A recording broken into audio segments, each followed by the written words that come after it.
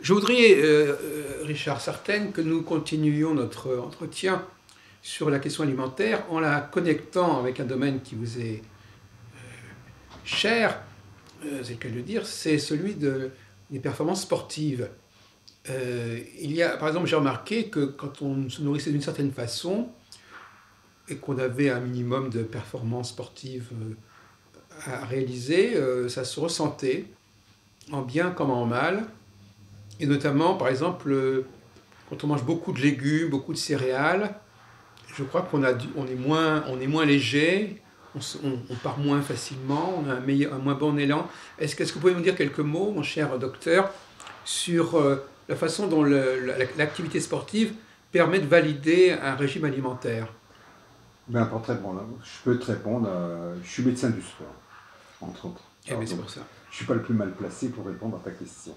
Donc il faut savoir que parmi les aliments, il y a trois constituants principaux. Les glucides, les lipides et les protéines. Alors ces trois aliments, ces trois nutriments, on va dire, hein, ce ne sont pas des aliments, ces trois nutriments, on les retrouve euh, à part inégale dans l'alimentation. Donc pour résumer, on a besoin des glucides pour faire de l'énergie, donc c'est à partir des glucides et de l'oxydation des glucides qu'on peut faire, qu'on peut fabriquer des molécules qui sont porteuses d'énergie. Hmm. Alors, oui. Alors, les lipides, si on a besoin d'énergie, les lipides sont transformés par le foie en glucides. Et si par exemple on a un régime dénutri, qu'on mange, admettons celui qui ne mangerait que de la viande, est obligé de transformer ses protéines, hein, la ah viande est obligé de transformer ses protéines en glucides pour avoir de l'énergie. En particulier ceux qui sont à une grosse diète ou qui sont privés de nourriture, d'accord Privés de nourriture. Et à ce moment-là, ils perdent leur muscle. C'est-à-dire que l'organisme est capable de détruire le muscle pour chercher des protéines qui sont à l'intérieur de son corps. Alors, donc, alors, donc, pour faire une bonne performance, il faut avoir des réserves d'énergie. Le corps humain n'a pas beaucoup de réserves d'énergie, ce sont les, glucides. Il n'y en a pas beaucoup qui soient stockés, ce qui fait qu'au cours d'une compétition, tu es obligé de t'alimenter un peu en permanence, sinon tu vas être en hypoglycémie. Alors, parmi, pour la, performance, il y a d'autres éléments très importants, ce sont les, ions les ions sodium, potassium, calcium, qui participent à la contraction musculaire. Donc ces ions sont indispensables, donc il faut que tu aies les ions nécessaires et en quantité suffisante. Le potassium, par exemple, est très important pour la contraction musculaire. Donc il ne faut, pas, faut pas être dénutri, il ne faut, pas être dénutri avec les éléments, les petits éléments indispensables. Alors il y a d'autres éléments qui sont indispensables à la performance sportive. Par exemple, c'est tout ce qui est hormonal. Donc, euh, la cortisone, la cortisone qui est fabriquée à partir du cholestérol. Donc tu ne peux pas baisser ton niveau de cholestérol euh, trop bas, sinon tu ne pourras pas fabriquer des éléments constitutifs des membranes, tu ne pourras pas fabriquer la testostérone qui est l'hormone sexuelle, ou les Tu manqueras de jus. Oui, tu, manqueras d'agressivité. Dans la testostérone, c'est mm. l'hormone par définition qui te donne du mordant. C'est vrai aussi sur le plan sexuel, je suppose. Ah oui, bien sûr, indispensable sur le plan sexuel. Indispensable sur le plan sexuel pour la libido. Si tu as un taux de testostérone euh, bas, si tu veux. Alors, j'avais pas pensé à ça, mais on pourrait peut-être embrayer sur ce point. C'est-à-dire qu'effectivement, dans le rapport sexuel, on ne peut pas dire que c'est un sport, enfin quand même, quelque part. Non, mais avant le rapport sexuel, il y a la libido. Il faut que tu aies envie de faire l'amour. Oui. Il faut que tu aies envie de faire l'amour, que l'homme ait une érection correcte, si tu veux, pour permettre la pénétration. Oui, merci. Il, non, mais il faut que la femme ait également des organes alors, sexuels. Alors la femme, alors, la femme est-ce qu'elle a besoin aussi d'autant d'énergie enfin, Je pense qu'une question un peu idiote, elle n'a pas besoin de, la même type d'énergie que l'homme pour, pour, réaliser l'acte L'homme, il, il a besoin de l'énergie physique pour assurer le rapport. Si le rapport est très sexuel, bestial, c'est pour prendre un mot vulgaire, donc il faut de la force. Oui. Et Mais il te faut la libido. La libido, la libido si tu veux, c'est l'appétit sexuel. Donc, quelque part, il faut avoir envie de faire l'amour pour Oui. Il faut que la femme, en Et question, que l'objet d'amour soit est- excitant, Oui, il faut qu'elle soit elle-même excitée. excité. Il faut que la femme soit elle-même excitée Oui. parce que c'est. Il lui faut, si tu veux, il faut que le vagin soit lubrifié correctement. Oui. Sinon, si le vagin est sec, la pénétration est, est délicate et pas agréable. Oui. Et ça, c'est lié à la ménopause aussi? Non, bah, c'est lié aux hormones sexuelles Oui. de la femme, oestrogène et progestérone. Enfin, en gros, pour résumer sur ce point, l'homme a plus. Dans le rapport sexuel, l'homme dépense plus d'énergie à tous les niveaux que la femme. On peut dire Oui, je ne sais pas la même chose. Je Bon. pense pas, je pense pas, je pense pas qu'il D'accord. faire une comparaison Bon. et qu'une Bon, balance. C'est pas les mêmes éléments, c'est pas la Bon. même excitation. Bon, admettons. Hein, D'accord. Alors, finalement, euh, euh, bon, donc ta réponse est un peu complexe, c'est-à-dire qu'en fin de compte, le corps, si j'ai bien compris, il se débrouille avec ce qu'on lui donne. il Et, débrouille. et- et il, Il va, se il, est, capable de, de produire ce qui lui manque à partir d'éléments divers. Oui, il est capable de, de prendre d'autres éléments, Oui. de Ça, c'est très, très malin. Donc ça, c'est le, Le l'intelligence de... le- Oui, c'est- Oui. c'est une forme d'intelligence. Mais euh, le corps humain est capable de faire des synthèses, oui, c'est ça qui est remarquable. Oui, effectivement, on n'en- a pas, n'est pas toujours conscient de ce à condition, à condition qu'il ait les enzy- l'enzyme, si tu veux, c'est l'élément catalyseur. Ah. Si tu mets deux, deux constituants A et B, si tu as besoin de faire AB, il faut part, il y a un autre, il faut qu'il y ait un intermédiaire qui soit là pour. Et alors, si l'intermédiaire n'est pas là, et qu'est-ce que c'est Eh ben, que- Quand est-ce qu'il y a un- Il peut y avoir des cas où la, Ah où la oui, synthèse ne se fait pas Oui, ben, oui. C'est quoi comme carence, ça? Ah bah, c'est des carences, euh, c'est des carences euh, Ces carences sont en encore plus... éléments fondamentaux. Ah Donc, oui. Les gens peuvent avoir des maladies, ce qu'on appelle des maladies génétiques, parce que l'enzyme, c'est la base de, la fonction de l'ADN et de l'ARN. Hmm, Donc l'ADN, c'est le code qui va fabriquer toutes les enzymes. hmm. Donc si tu as une lacune sur, euh, sur euh, un gène, hein, si tu as un gène qui est lacunaire, si tu veux, tu ne Mm. pourras pas fabriquer l'enzyme et tu auras un déficit en quelque chose. Alors, est-ce que le- est-ce que l'âge intervient dans l'évolution de ce processus, de cette alchimie? Oui, parce que l'ADN vieillit. D'ailleurs, tu retrouves des, des déchets de l'ADN, tu les retrouves sous forme d'acide urique avec. Donc l'acide urique, quand les gens ont de la goutte, sans pour cela qu'ils mangent des produits il y a de l'acide urique, l'ADN en vieillissant fabrique de ce quand on, est jeune, quand on est jeune, on ne produit moins d'acide urique. On n'en produit pas. Quoi. Pas du tu, tout. Tu, prends, tu prends l'acide urique qui trouve dans les aliments, le vin blanc, Oui. les, les- les fameux gros mangeurs du 19e, Balzac, Alexandre Dumas, c'était des gros. Donc eux, ils fabriquaient de l'acide urique et ils avaient des crises de gouttes. quoi. La flé- euh, oui, la phlébite. Oui, pas que bites, non, c'est l'acide urique, c'est- ça fait des micro-cristaux qui se développent dans les articulations. Oui. Et euh, alors, l'obésité, comment tu définirais l'obésité alors? L'obésité, ben, si tu veux, on peut dire que chaque individu, en fonction de son âge et en fonction de sa taille, a un poids idéal, quoi, un poids moyen idéal qui est en fonction de la taille. Alors pour l'instant, il y a ce qu'on appelle un indice de masse Oui. corporelle, IMC, qui correspond à la taille, euh, au poids divisé par le carré de la, de la taille. Alors, une question qui me, qui me vient comme ça, est-ce que est-ce qu'il n'y a pas une tendance à une aggravation de la calvitie aujourd'hui? On a l'impression qu'il y a de plus en plus de gens, Oui, même non, relativement. Il y a une mode, il y a une mode aussi. La une mode mode. Zidane. Zidane, le fameux footballeur de l'équipe de France, était un peu chaud. on, retombe, on retombe dans, on retombe dans le problème de- du sport, là. Oui, voilà, donc tu retombes dans l'idée qu'avoir le crâne rasé, le crâne rasé te donne. euh, Oui, je sais, mais certaine- malgré tout, il y a quand même aussi des... euh, Bon, là, le crâne rasé, oui, c'est certes, mais quand, donc, au moins deux tiers des cas, c'est aussi des gens qui ont un problème de calvitie.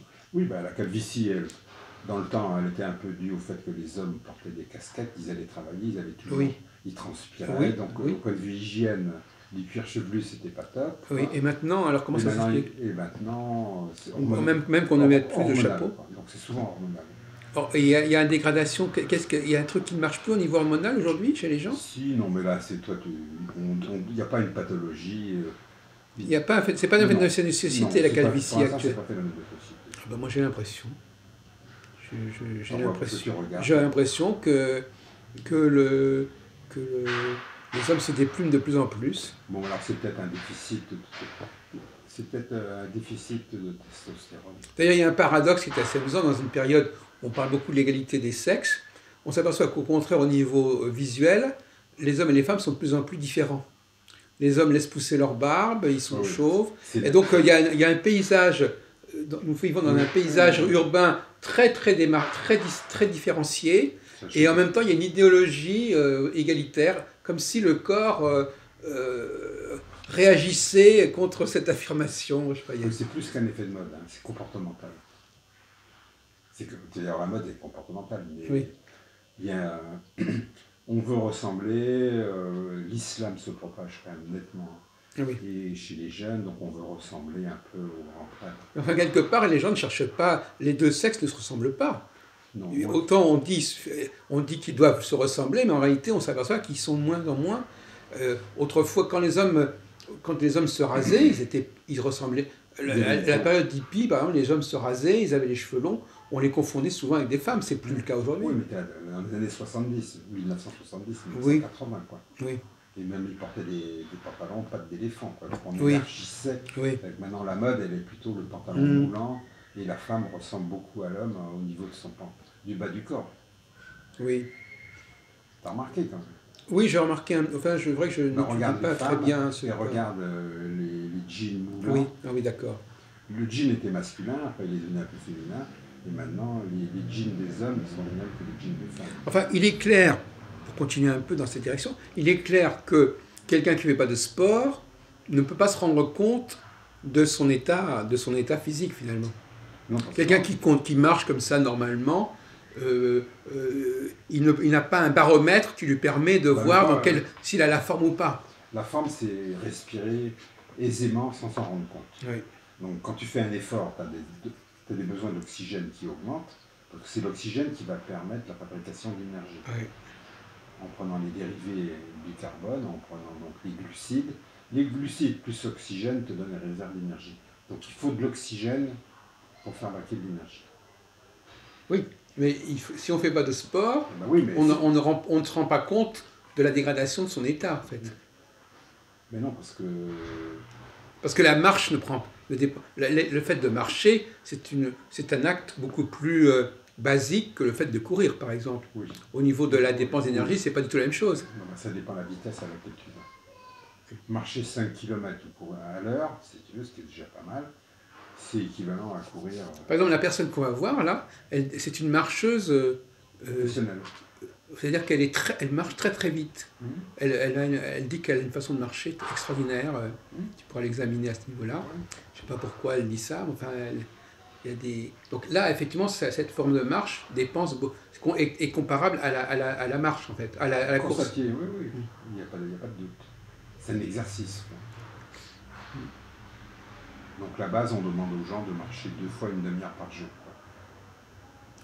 Alors, pour revenir à la question euh, sexuelle, euh,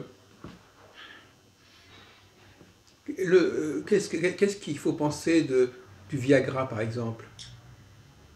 Bah, C'est quelque chose qui... C'est, une invention intéressante Oui, moi, je, c'est, intéressant parce que utile. Et, quelle, est son, quelle, est son- quelle est sa fonction, alors? Ben, la fonction, c'est d'augmenter, créer une vasodilatation. Enfin, dans la verge, si tu veux, Ah oui. la verge, c'est, la verge, c'est pas un os. hein. Non. Donc la verge, c'est, c'est des tissus mous, si tu veux, Mhm. euh, remplis de vaisseaux. quoi. Donc l'érection se fait en augmentant le débit sanguin dans, dans Alors, donc il y a quand même... Alors, il y a des gens qui n'arrivent plus, c'est pour des, c'est, ça correspond à une carence, quelque part. Ah bien sûr, euh, l'érection, la baisse de la force de l'érection, c'est, c'est une carence. a une enzyme qui manque Oui, et qui est fournie par le Viagra et qui, et permet- ça, oui. et qui permet d'ouvrir le vaisseau.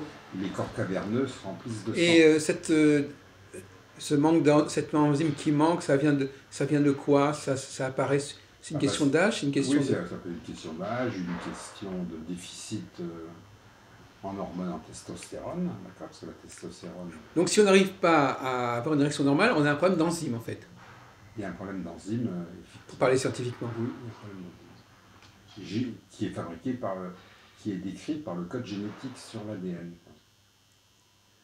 Et donc- un gène qui est un peu déficient à un certain âge. Alors justement, puisque tu parles d'ADN, est-ce que euh, tu as peut-être travaillé sur ces questions euh, qui nous renvoient aux problèmes euh, génétiques. C'est-à-dire, est-ce que, est que par exemple, tu penses que dans l'avenir, la génétique permettra de mieux comprendre ce qui distingue l'homme de la femme, ce qui distingue les races les unes des autres enfin, Est-ce ah que ça va nous apporter des, des, des, éclairages Oui, c'est sûr, c'est certain. Qu'est-ce que tu qu'est-ce que tu attends de ce genre de recherche euh, Sur le plan économique, sur, le, plan sur le plan euh, la connaissance de l'homme. Oui, enfin oui, sur euh, par exemple, est-ce que le 21e, le 21e siècle, à ton avis, pour revenir à une question, est-ce qu'il est fera apparaître plus clairement ce qui distingue l'homme ou la femme, ou est-ce qu'au contraire, il va résorber cette différence? Non, bah déjà, on sait presque tout sur les différences entre l'homme et la femme. Donc l'homme est différent de la femme sur le plan sexuel d'abord. Oui. D'accord, donc sexuel, donc il y a un problème hormonal, les hormones ne sont pas les mêmes, le timing des hormones n'est pas le même. La femme, elle a deux hormones sexuelles principales, l'estrogène, qui, dans le cycle de la femme euh, n'ont pas la même chronologie. On a tendance à minimiser ces différences en disant que tout ça Est-ce qu'il est y a des, choses, des différences plus importantes au niveau social Par contre, il y a des différences importantes, c'est au niveau cerveau. Oui. Alors, est-ce que, est que tu as une idée de, de la différence entre le, le fonctionnement du cerveau ah bah féminin et masculin? Il y a des différences au point de vue âge. On peut trouver des jeunes filles qui, qui arrivent à la puberté beaucoup plus tôt que les garçons. Il y a à peu près 2-3 ans d'écart entre la puberté d'une fille et la puberté mm. d'un garçon. Ces différences, on les retrouve déjà dans les lycées, dans les collèges, quand les enfants sont seconde, première dans le choix de l'orientation. Donc on dit que les filles sont plus intelligentes, c'est parce qu'elles sont, elles sont, plus elles sont précoces. Elles sont précoces, elles ont leur âge, quoi. Elles ont leur âge et les garçons sont en retard. Oui. Donc il faudrait, à ton avis, euh, d'ailleurs j'ai écouté une émission sur France Culture ce matin, il, faudrait euh, ne pas les mettre dans les mêmes structures. Si tu veux, il ne faudrait pas les mettre dans les mêmes structures, dans les mêmes classes. Et autre jour, d'ailleurs j'ai écouté ce matin un argument qui disait, un des problèmes c'est qu'il y a, étant donné que le corps, le corps enseignant est essentiellement fait de femmes, ça crée un problème de motivation chez les garçons parce qu'ils n'ont pas de modèle. Ben oui, mais c'est simple à comprendre. Si tu veux, il faut regarder les professions qu'exercent les femmes. Donc les femmes dominent dans l'enseignement. Il y a plus de médecins femmes que de médecins hommes. Dans la, dans la magistrature, chez les avocats, les femmes sont majoritaires. Dans l'enseignement, donc comme je t'ai dit, dans l'enseignement, elles sont majoritaires. Dans l'enseignement, c'est important parce que justement, les gens vont s'identifier dans la médecine, c'est important, donc il y a plus de femmes que d'hommes qui sont médecins. je ne sais pas si ça a un effet sur, le, ah, sur, le, sur les gens. Enfin, Non, mais quelque part. Donc les professions où il y a un certain rapport avec l'homme, ah avec, l'homme, les femmes dominent. Oui. D'accord Et les garçons se réfugient plus vers les techniques et vers les, mathématiques. Ah. Donc là, il y, a moins de, il y a moins de filles que de garçons. Il y a mm. beaucoup moins de filles que de garçons. Et les garçons, moi, les garçons, ils, ils ont des problèmes d'identité masculine. Bah oui, parce qu'ils n'ont pas de modèle. Donc les, modèles des garçons sont les sportifs, c'est Beckham, c'est les sportifs, ah euh, les chanteurs, les artistes.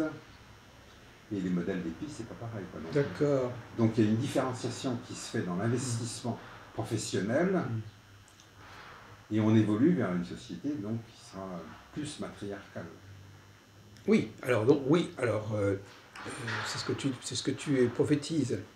Euh, bon, mais d'un autre côté, c'est vrai que le rapport, bon, moi j'ai, moi j'ai, moi j'ai une position assez différente de celle-là. Euh, je te parle pas, je te parle pas des professions où il y a, certaine, on va exercer une certaine puissance. Voilà. Chef d'entreprise, mm. homme politique, mm. les hommes dominent largement, mais il y a un arriéré. Tu sais, pour devenir euh, membre influent d'un parti politique, il faut avoir milité quand même pas mal. Oui. Hein, tu ne deviens pas député comme ça, il faut déjà être conseiller mm. général, il faut être maire. Donc il y a toute une carrière qui te permet d'accéder au poste. Bon, on n'a pas tellement de temps de discuter sur ce point. Euh, un autre point que j'aimerais bien aborder comme ça un peu rapidement, c'est le rapport sur lequel tu as dû certainement travailler, c'est la machine.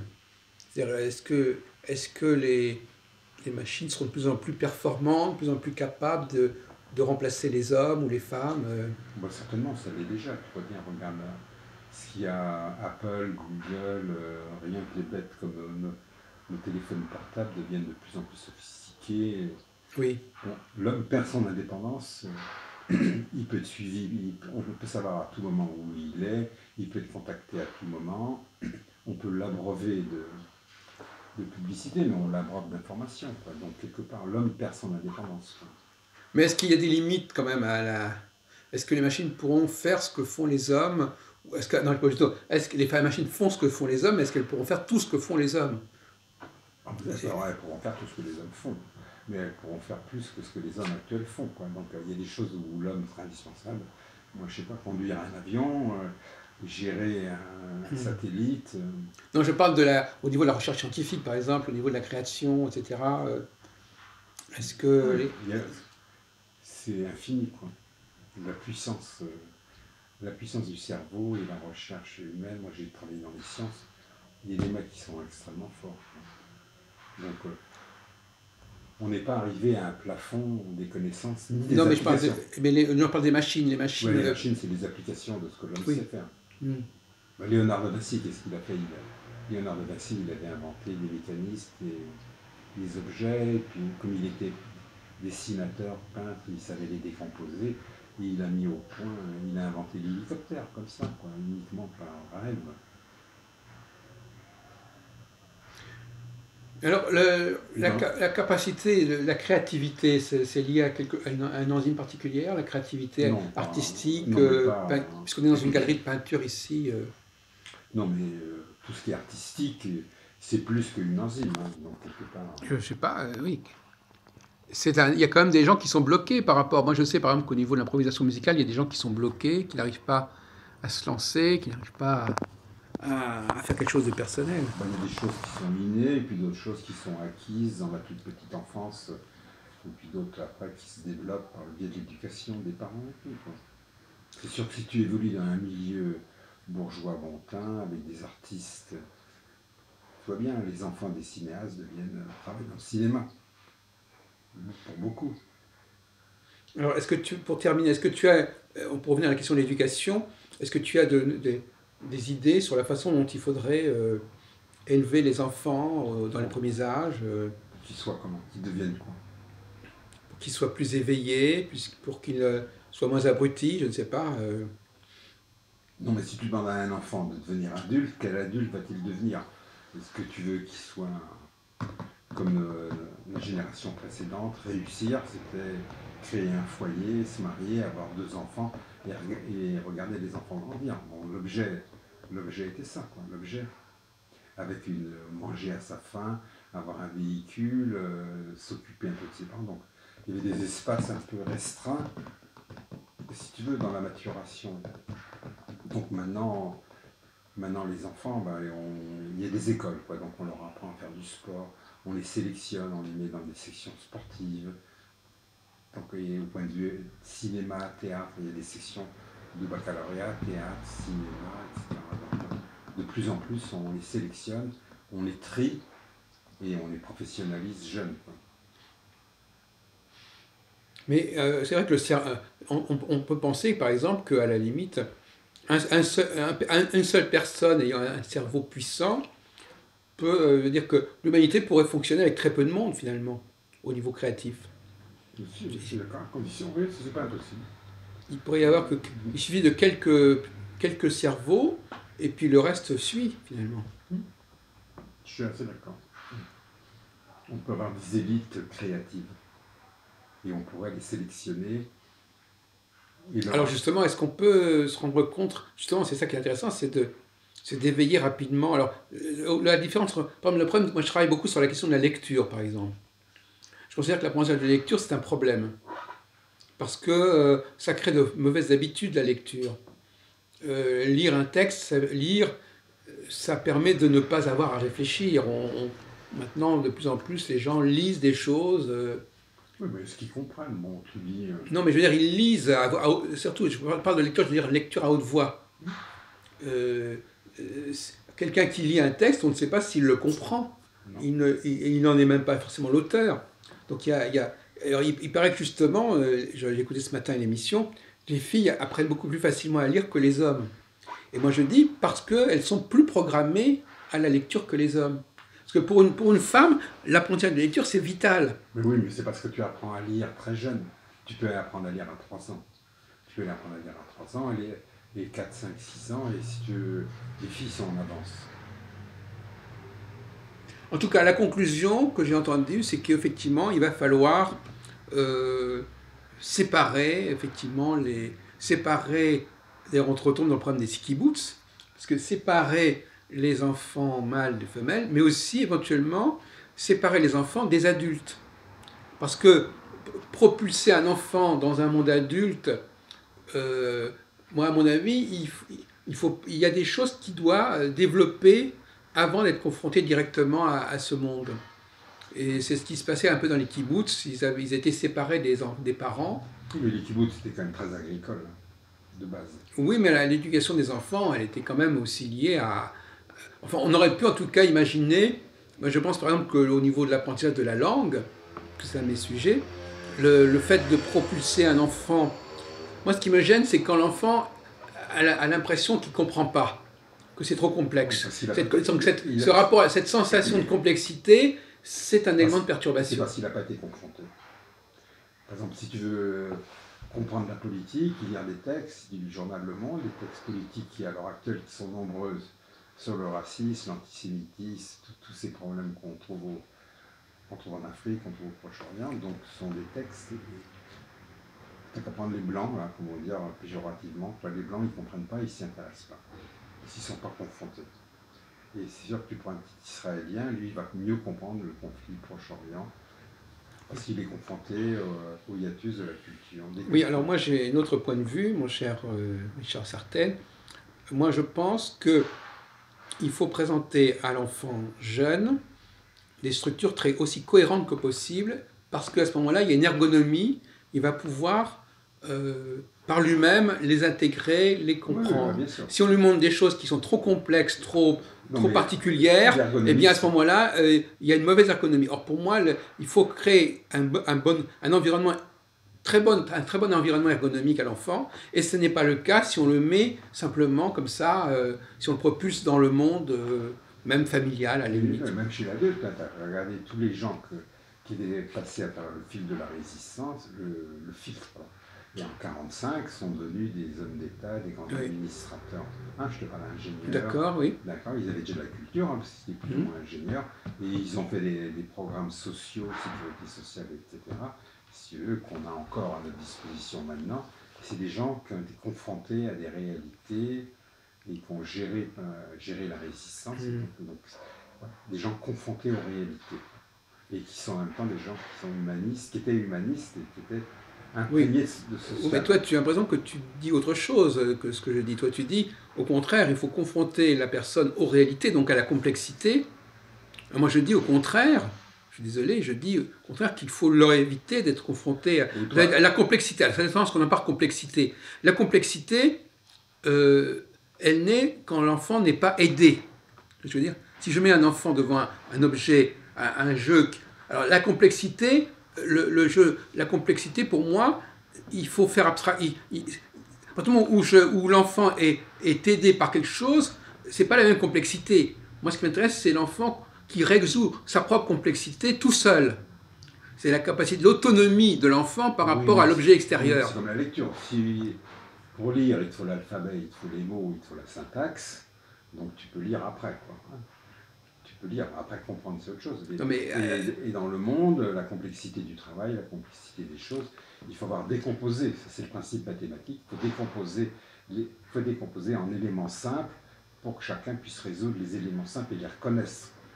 Bah, déjà, par exemple, l'apprentissage du langage, l'enfant ne peut pas, dans la pratique actuelle, que je critique d'ailleurs, euh, il faut que chaque fois on lui explique ce que tel mot veut dire. Oui, hein. Voilà, donc il est aidé, il va être, il va être aidé. Moi, ce qui m'intéresse, c'est ce que l'enfant puisse trouver par lui-même un certain nombre de réponses sans que on lui donne un coup de pouce, euh, sans qu'on l'aide.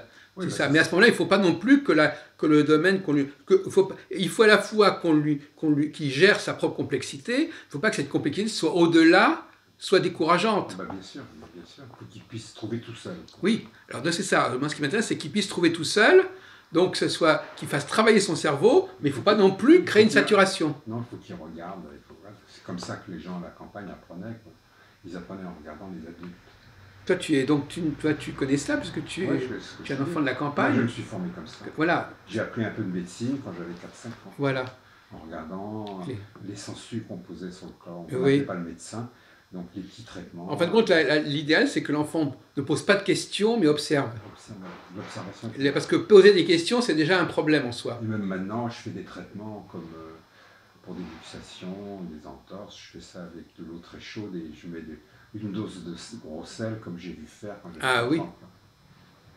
Les, bonnes, les, bonnes, les bons remèdes. Bah, Eh bien, qu'on n'avait euh, rien à sa disposition à l'époque, c'est rien. On n'appelait pas de médecin. Il n'y avait pas de médicaments. Eh bien, docteur Sartène, merci de cette, ce nouvel entretien euh, qui va compléter ce qu'on a déjà eu. Merci à toi, Jacques, de me faire confiance.